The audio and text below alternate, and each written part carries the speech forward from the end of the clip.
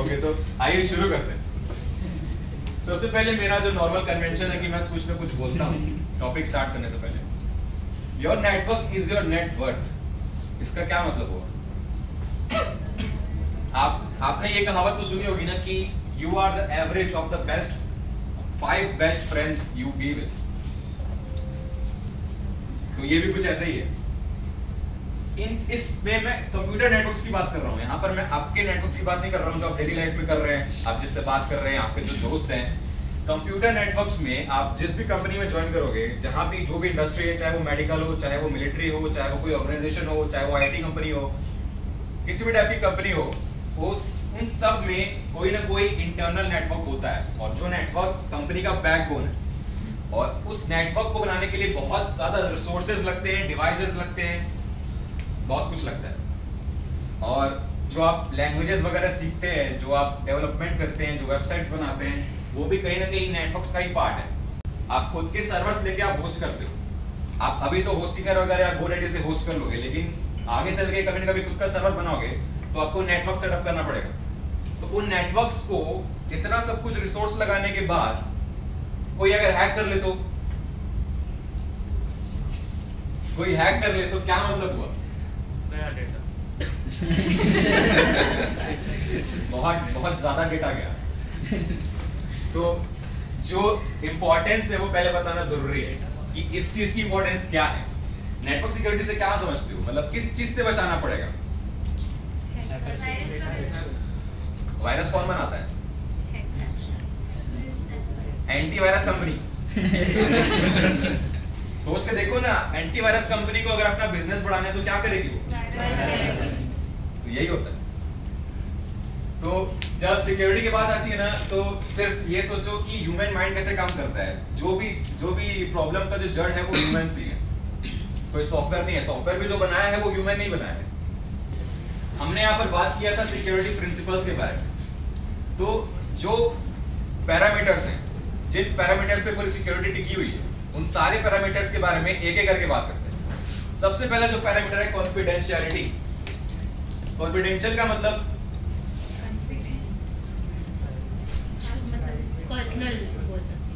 अच्छा। कॉन्फिडेंशियल और प्राइवेसी के बारे में सुना होगा? प्राइवेसी पहला वर्कशॉप अटेंड किया। अच्छा। कॉन्फिडेंशियलिटी और प्राइवेसी में ये डिफरेंस है। प्राइवेसी पर्सनल होती है। Confidential consist of a group of people तो सबसे पहले जो चीज़ जिसके लिए बनी है, सिर्फ़ उसी को एक्सेस होना चाहिए।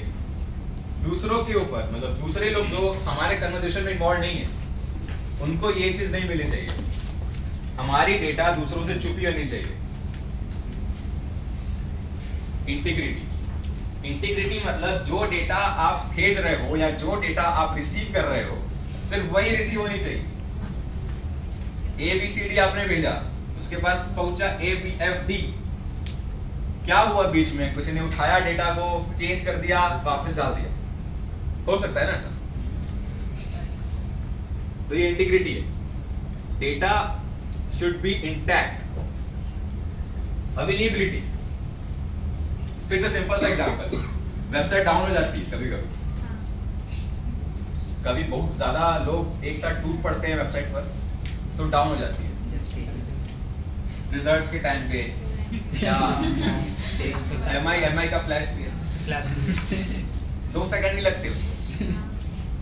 तो अब रिसोर्सेज की बात करते हैं तो जो आपके नेटवर्क में चल रहा है जो डेटाबेस चल रहा है जो फ़ाइल वगैरह आपने होस्ट की हुई है वो सब अवेलेबल होनी चाहिए. और उनको ही जो नेटवर्क पे ऑथोराइज्ड है ये अवेलेबिलिटी ये तीन चीज़ें इन तीनों चीज़ों को पहले था कॉन्फिडेंशियलिटी फिर इंटीग्रिटी अब अवेलेबिलिटी इन तीनों को हम लोग कभी कभी सी आई ए ट्रायड भी बोलते हैं। तो ये तीनों प्रिंसिपल्स है सिक्योरिटी के नेटवर्क सिक्योरिटी के। इन तीनों के ऊपर ही पूरी सिक्योरिटी डिफाइंड है। ये है ट्रायंगल डेटा सिक्योरिटी एक अंदर का पार्ट है और ये तीनों चीज़ों से घिरा हुआ है। यही है पूरा सिक्योरिटी और इन तीनों चीज़ों में ही सारे जो कंसेप्ट है वो आते हैं।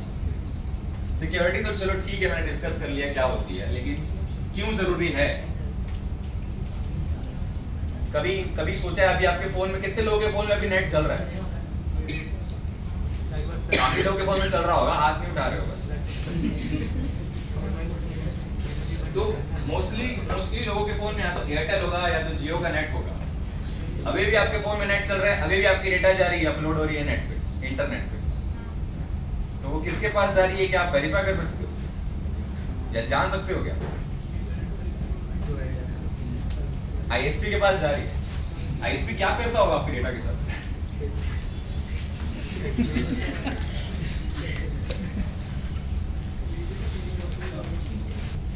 अब वही चीज़ डिस्कस करने वाले हैं कि कौन कौन से अटैक्स हो सकते हैं और होते हैं एक्चुअल में। मैंने जो वेब सिक्योरिटी में बताया था SQL injection cross site scripting ये वेबसाइट्स की बात की थी मैंने। अब वेबसाइट्स से अलग भी अटैक्स होते हैं नेटवर्क्स पे और उससे ज़्यादा अटैक्स होते हैं। और सारे अलग अलग किस्म के अटैक्स होते हैं। कोई भी एप्लीकेशन बनाओ या कोई भी सॉफ्टवेयर या वेबसाइट बनाओ, बना के छोड़ मत दो। टेस्टिंग एक बहुत बड़ा इशू होता है, हर वेबसाइट में। जब भी पब्लिकली अवेलेबल कोई रिसोर्स बना रहे हो ना तो बिना टेस्टिंग के कभी डिप्लॉय मत करना। और जो हो सकता है, वो मैं डिस्कस करने वाला हूँ। जिस तरीके से नेटवर्किंग काम करती है ना, उसी तरीके से उसकी वीकनेस भी डेवलप हुई the way the networking works is actually its own weakness कैसे? नेटवर्किंग पढ़ा है? आता है किसी को थोड़ा बहुत? नेटवर्किंग आता है? नहीं आता तो अच्छी बात है। अभी अभी पता चल जाएगा। पहले टाइप के अटैक्स है पैसिव अटैक्स पैसिव मतलब आप डायरेक्टली इन्वॉल्व नहीं हो रहे हो पार्टीज़ के बीच में। एक सेंडर है, एक रिसीवर है। दोनों कम्युनिकेट कर रहे हैं। लेकिन मैं अगर चाहता हूँ कि मैं दोनों की कम्युनिकेशन सुन सकूँ तो उनको पता नहीं चलेगा। बिना डिटेक्ट हुए किसी की कम्युनिकेशन सुनना इज़ कॉल्ड पैसिव अटैक और वो कैसे होता है? एलिस और बॉब के एग्जांपल बहुत फ़ेमस है। एलिस है सेंडर है, और एक बॉब है।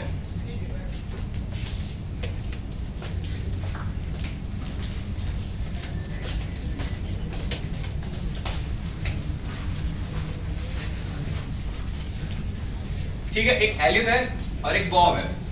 दोनों कम्युनिकेट कर रहे हैं। प्लेन टेक्स्ट मतलब बिना किसी एनक्रिप्शन के कम्युनिकेट कर रहे हैं। डायरेक्ट कम्युनिकेशन हो रहा है एलिस और बॉब दोनों से। अब तीसरा बंदा आया टॉम ये क्या है? ये उसी नेटवर्क का पार्ट बन गया है। ये जैसे तैसे उस नेटवर्क में घुस गया अब ये क्या कर रहा है ये इन दोनों के बीच में जो कम्युनिकेशन हो रही है, वो किस फॉर्म में होगी? अगर हम एकदम नीचे फ़िज़िकल लेवल पे जाएँ तो क्या शेयर हो रहा है दोनों के बीच में? मैसेज तो शेयर हो रहा है, किस फॉर्म में शेयर हो रहा है?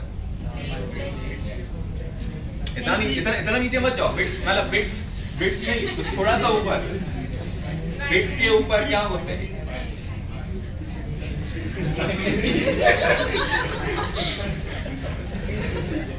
अच्छा।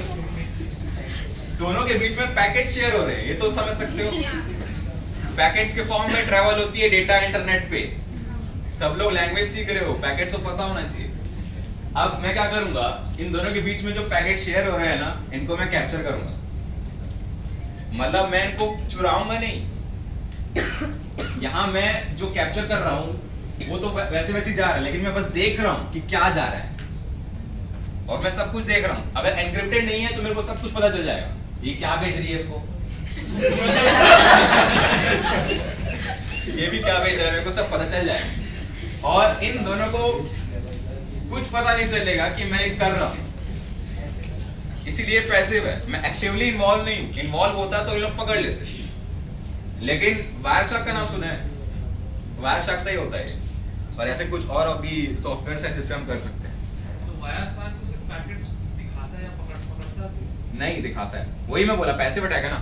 मैं चुरा नहीं रहा हूँ, मैं देख रहा हूँ। स्निफिंग का मतलब पता है, सूंघना, जैसे वो होते हैं ना एफबीआई के डॉग्स वगैरह होते हैं क्रिमिनल एक्टिविटी होती है ना तो सूंघ सूंघ के बताते हैं कि कहाँ कहाँ हुई है। तो स्निफिंग का मतलब वही होता है। मैं भी स्निफिंग कर रहा हूँ रीड कर रहा हूँ। दूसरे टाइप के अटैक्स होते हैं एक्टिव अटैक्स एक्चुअल में मैं उन दोनों की कम्युनिकेशन को इंटरसेप्ट कर रहा हूँ मतलब चुरा रहा हूँ। जो लोग शेयर कर रहे हैं ना, मैं बीच में पकड़ ले रहा हूँ। अब मैं उनके साथ क्या करता हूँ, ये मेरे ऊपर है। पहले कम्युनिकेशन कैसी थी? Alice to Bob direct communication था। अब क्या हो रहा है? एलिस बॉब को भेजना चाहती है, भेज किसको रही है? टॉम को। ये होता है एक्चुअल में, उसका इंटेंशन नहीं है कि मैं टॉम को भेजूं, लेकिन वो जा टॉम के पास रहा है। तो यहाँ से कनेक्शन बन गया टॉम के पास। अब टॉम के पास मैसेज आ गया, वो कुछ भी कर सकता है। चाहे वो ड्रॉप कर दे टॉम तक बॉब तक जानी रह दे। या बॉब को भेज दे मतलब कुछ उल्टा सीधा करके भेज दे।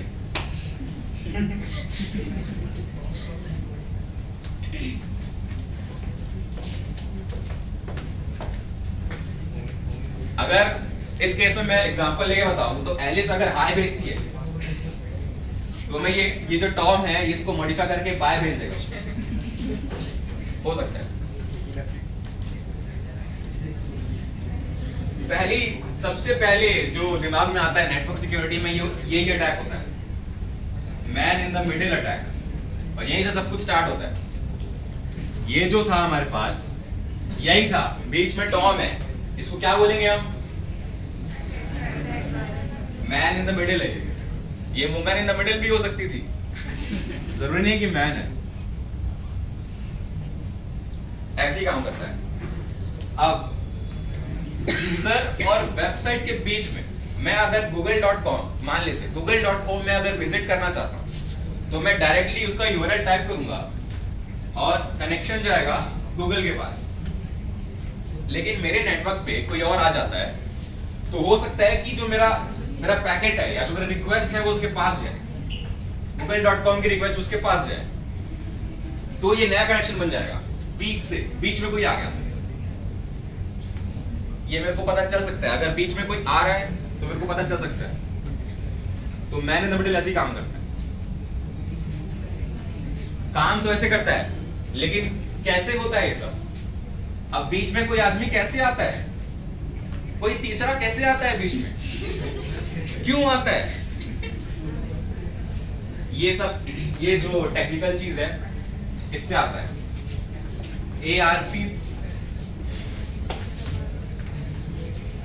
A R P poisoning A R P का फुल फॉर्म पता है किसी को? एड्रेस रेजोल्यूशन प्रोटोकॉल ये नेटवर्क प्रोटोकॉल है. सिंपल सा समझ लो. ये क्या करता है? ये आईपी एड्रेस को मैक एड्रेस से लिंक करता है. मतलब मैप करता है.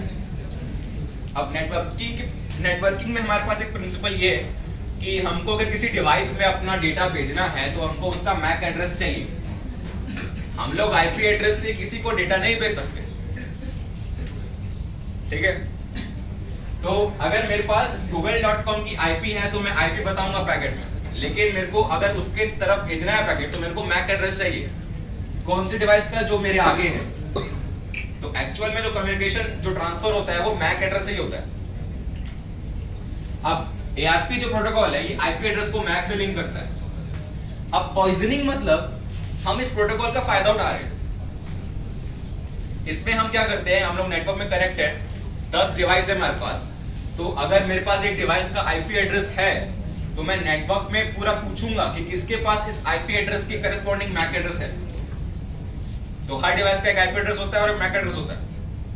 तो अगर मेरे पास किसी डिवाइस का मैक एड्रेस नहीं है तो मैं उसको पैकेट नहीं भेज सकता। और अगर मुझे पता करना है उसका मैक क्या है तो मैं पूरे नेटवर्क में शेयर करूँगा। बता भाई इस आईपी के करस्पॉन्डिंग मैक एड्रेस किसका है? तो ब्रॉडकास्ट करूँगा मैं। और जिसका होगा वो मुझे वापस रिप्लाई करेगा। समझ आया? अब अटैकर क्या करता है? इसमें एक इसमें एक दिक्कत है। एआरपी प्रोटोकॉल में एक दिक्कत है कि ये क्या करता है? ये कोई भी पैकेट एक्सेप्ट कर लेता है। अगर मैं बोलता हूँ किसी डिवाइस को कि ले, मेरा जो आईपी एड्रेस है, उसके करस्पॉन्डिंग ये मैक एड्रेस है तो रख ले। तो वो रख लेगा, वो एक्सेप्ट कर लेगा। तो इससे क्या होता है? मैं किसी और आईपी एड्रेस के लिए अपना मैक एड्रेस लिंक कर सकता हूँ। किसी भी आईपी के लिए। कुछ ऐसा है, ये ऐसा काम करता है। ये एक आईपी एड्रेस है मेरे पास 10.0.0.2 उसका मेरे को मैक एड्रेस चाहिए, उस डिवाइस का। तो मैं नेटवर्क में पूरे डिवाइसेस को भेजूँगा ये सब। और जिसका होगा, वो वापस रिप्लाई करेगा मेरे को। ये 10.0.0.2 वाला जो कंप्यूटर है ये मेरे को अपना मैक एड्रेस दे देगा। ये एआरपी का प्रोटोकॉल का वर्किंग है। अब इसको हम लोग इसका फ़ायदा उठाते हैं। ये नॉर्मल कम्युनिकेशन है सिस्टम और राउटर के बीच में। आपके घर में राउटर लगा होगा तो आपने, आपको पता होगा कि जो भी कम्युनिकेशन होता है वो राउटर के थ्रू होता है। इतना तो पता है सबको। तो अगर मैं बीच में आ गया हूँ, मैं हैकर हूँ। मैं बीच में आ गया। तो मैं सिस्टम को क्या बताऊँगा कि जो राउटर का आईपी एड्रेस है राउटर का जो आईपी एड्रेस है, उसका मैक एड्रेस मेरा है। मतलब अगर मेरे को राउटर को भेजना होगा पैकेट तो जाएगा मेरे पास। और मैं राउटर को बताऊँगा कि इस सिस्टम का जो आईपी एड्रेस है, उसका मैक एड्रेस मेरा है। तो राउटर को लगेगा कि जो सिस्टम है वो मैं हूँ, और सिस्टम को लगेगा जो राउटर है वो मैं हूँ। तो कम्युनिकेशन बीच से हो जाएगा।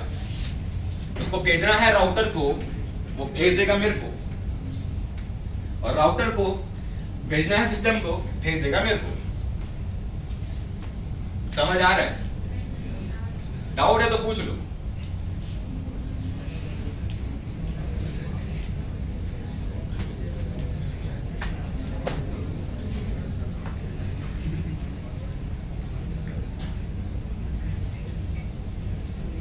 मैंने क्या किया? राउटर का जो आईपी एड्रेस था, उसको मैंने अपनी मैक एड्रेस से लिंक कर दिया। तो जो भी रिक्वेस्ट राउटर को जाने के लिए होगी, वो मेरे पास आएगी। और इस सिस्टम का जो आईपी एड्रेस है, मैंने बताया। और मैंने उसको अपनी मैक के साथ लिंक कर दिया। तो जो सिस्टम के लिए पैकेट होगा, वो मेरे पास आएगा।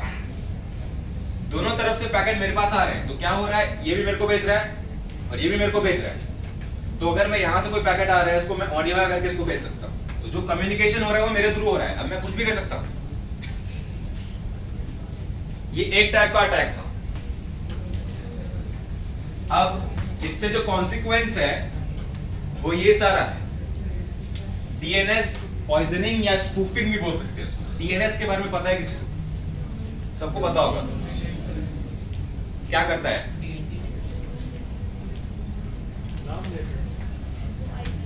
नामकरण करता है। क्या करता है? आईपी एड्रेस को नामकरण करता है कि नामकरण का आईपी एड्रेस करता है? क्या देता है हमको? आईपी एड्रेस किसका? तो जो भी यूआरएल टाइप करते हो, सबसे पहले रिक्वेस्ट डीएनएस सर्वर पे जाती है और उसका आईपी मिलता है, तभी हम लोग उस सर्वर पे रिक्वेस्ट कर सकते हैं। इसमें भी एक कमी है।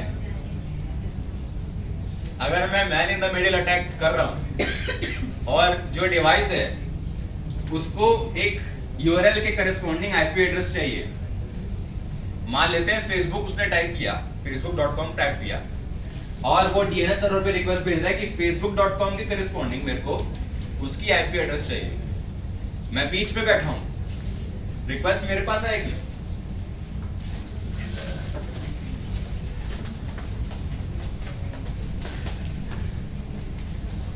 अब मैं क्या किया? मैं बीच में बैठा हूँ। रिक्वेस्ट मेरे पास आएगी। फेसबुक डॉट कॉम किसी ने रिक्वेस्ट किया। रिक्वेस्ट है मेरे पास, मैं क्या करूँगा? मैं अपने मर्ज़ी से कोई भी आईपी एड्रेस उसको दे सकता हूँ। मैं खुद डीएनएस सर्वर बन गया। वर्किंग समझ में आया किसी को डीएनएस सर्वर का? ऐसे होता है। क्लाइंट क्या कर रहा है? ये रिक्वेस्ट कर रहा है एक वेबसाइट के बारे में डीएनएस सर्वर को। मैं बीच में बैठा हूँ, मैंने इन्फेक्ट कर दिया डीएनएस सर्वर को। ये मैं हूँ। ये डीएनएस सर्वर को कंट्रोल कर रहा है। अब facebook.com की जो आईपी होगी, वो नहीं मिलेगी मेरे को। मेरी मर्ज़ी से मैं जो भी आईपी देना चाहता हूँ, वो मैं दे सकता हूँ। ले facebook.com की आईपी मेरी लैपटॉप की है, चल। तो खुलेगा क्या? क्या खुलेगा? मैं जो चाहता हूँ, वो खुलेगा। Facebook.com टाइप करोगे, मेरी वेबसाइट खुलेगी। तो ये ऐसा अटैक है। जाना था उसको यहाँ पे रियल वेबसाइट पे। वो रिडायरेक्ट हो रहा है यहाँ पर। फेक वेबसाइट पर। इस केस में यूआरएल तो आप सही टाइप करोगे, लेकिन जो पेज खुलेगा, वो मेरा फेसबुक का फिशिंग पेज भी हो सकता है। हो सकता है। इस केस में पता नहीं चलता, क्योंकि आपने यूआरएल सही टाइप किया है। रिडायरेक्ट हो रहे हो तो कुछ डाल भी दोगे उसमें। वो फिर man in the middle attack समझ आया किसी को मतलब सब। हाँ या ना? चलो हाँ तो बोल सेकेंड टाइप का अटैक है denial of service denial of service ये एक अवेलेबिलिटी अटैक है। इसमें क्या होता है कि वही चीज़ अवेलेबिलिटी अगर मेरे को किसी सिस्टम को डाउन करना है तो मैं ये चीज़ करूँगा। ये क्यों करूँगा? ये ऐसे होता है। टारगेट को बहुत सारे रिक्वेस्ट एक साथ भेजते जाते हैं। बहुत सारी, दस हज़ार, बीस हज़ार, एक लाख, एक सेकंड में जितना पावरफुल पीसी है आपका, उतना ज़्यादा इफ़ेक्टिव होगा ये। मतलब इंटेंशनली मेरे को सिस्टम को डाउन करना है। तो मैं डॉस अटैक करूँगा। कभी कोई वेबसाइट नहीं भी खुलती है, कोई वेबसाइट तो इसका मतलब ये नहीं है कि जेनुइनली बहुत सारे यूज़र्स उसको डाउन कर रहे हैं। कोई एक बंदा भी उसको डाउन कर सकता है। ये उसका मॉडिफाइड वर्जन है। डिस्ट्रीब्यूटेड डिनायल ऑफ़ सर्विस इसमें क्या करता है अटैकर बहुत सारे पीसीस को अपने वश में कर लेगा। बहुत सारे पीसीस को कर लेगा, बहुत सारे पीसीस को हैक कर लेगा। और फिर उन सारे पीसीस से लगातार वही चीज़ करेगा जो वो एक पीसी से कर रहा था टॉस वाले में। ये डिस्ट्रीब्यूटेड है, ये बहुत सारी पीसीस से एक साथ कर रहा है। तो इससे क्या होगा, ये और ज़्यादा खतरनाक है। ये विक्टिम अगर बहुत ज़्यादा रिसोर्सेज भी यूज़ कर रहा है रैम यूज़ कर रहा है तो अल्टीमेटली वो डाउन होगा ही होगा। तो आपके पास जितना अच्छा पीसी होगा जितने सारे पीसी होंगे उतने सारे पीसी से आप अमेजोन फ्लिपकार्ट को भी डाउन कर सकते हो। तो मल्टी सर्वर है। तो क्या हुआ? आप भी मल्टी सर्वर बन सकते हो। हाँ। Limitless everything is limitless eavesdropping ये तीसरे टाइप का अटैक है। इसका मतलब ये होता है कि वही चीज़ सुनना। जो पैसिव अटैक था ना वो यही है। सिर्फ़ सुनना। दीवार के पीछे से जो सीरियल्स में दिखाते नहीं है आंटियाँ लोग सुनती रहती हैं कन्वर्सेशन वैसे उसी टाइप का अटैक है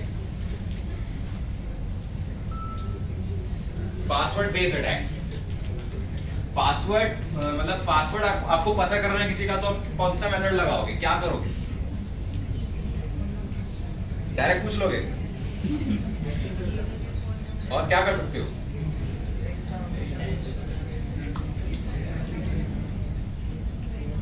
कोई भी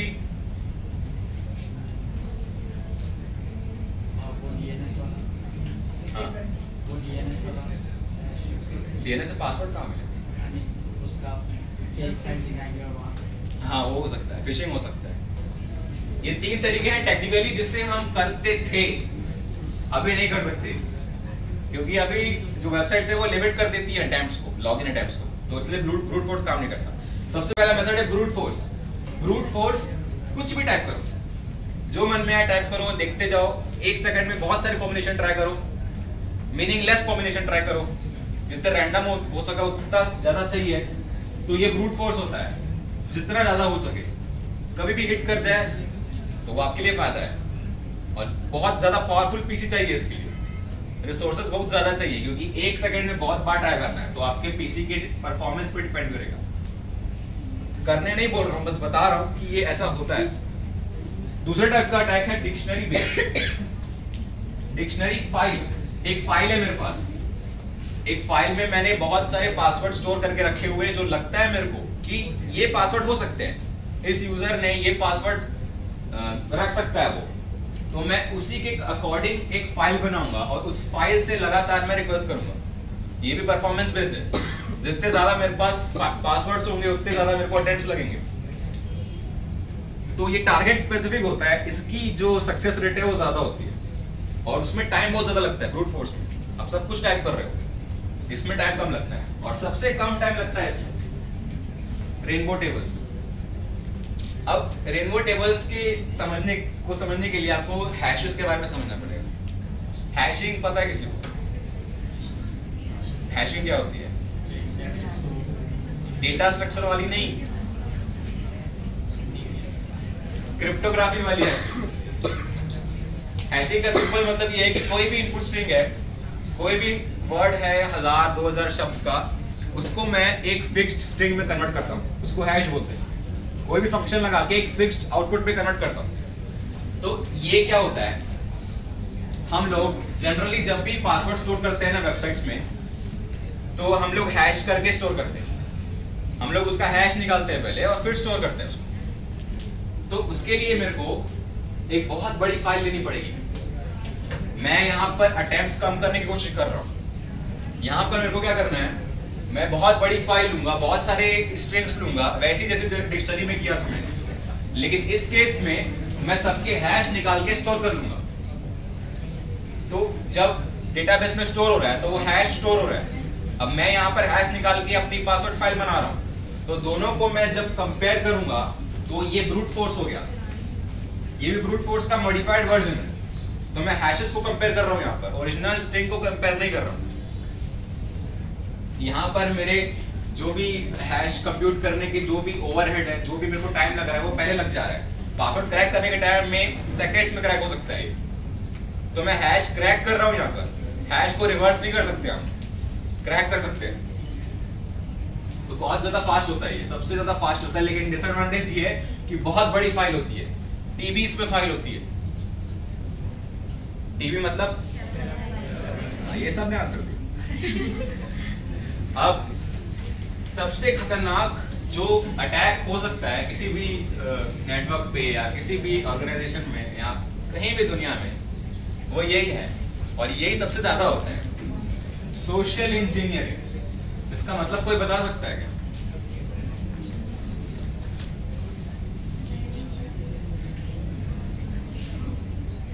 आवाज़ आ रही है कि नहीं मेरी सबको? तो इसका मतलब कोई बता सकता है?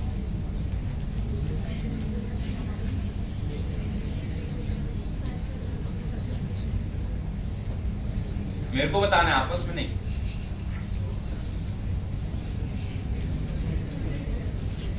सोशल इंजीनियरिंग इंजीनियरिंग कर रहे हो ना सब? तो जब लोगों के दिमाग को ट्रिक किया जाता है ना, बस समझ लो यही है। फिशिंग फिशिंग तो जानते हो कि फिशिंग क्या होता है? फिशिंग जानते हैं ना सब? सोचिए मतलब सोशल इंजीनियरिंग क्या? अभी भी नहीं। तो वही मैंने जो बताया कि लोगों के दिमाग को ट्रिक किया जाता है लोग आजकल जितने स्मार्ट बनते जा रहे हैं ना, उतने बेवकूफ़ भी बनते जा रहे हैं। अभी तक इसका कोई तोड़ नहीं निकला है। यहाँ पर मैं बात कर रहा हूँ कि नेटवर्क में कितना भी टेक्निकली आप सिक्योर रह जाओ मतलब जो भी आपने सिक्योरिटी के मेजर्स लगाए हैं, आपने रिसोर्सेस लगाए हैं आपने सारे इनपुट को फ़िल्टर कर दिया है नेटवर्क में फायरवॉल लगा दिया है सब कुछ कर लिया है लेकिन उसके बाद भी आप इस चीज़ को प्रिवेंट नहीं कर सकते। आखिर में सेटअप कौन कर रहा है? इंसान ही कर रहे हैं। तो जब तक इंसान स्मार्ट नहीं होगा तब तक कुछ नहीं हो सकता। तो इसका भी कोई क्योर नहीं है। क्या? तो नहीं है स्मार्ट तो नहीं कर सकते। नहीं कर सकते। इस चीज़ को हम मशीन को कर सकते हैं। इंसान को नहीं कर सकते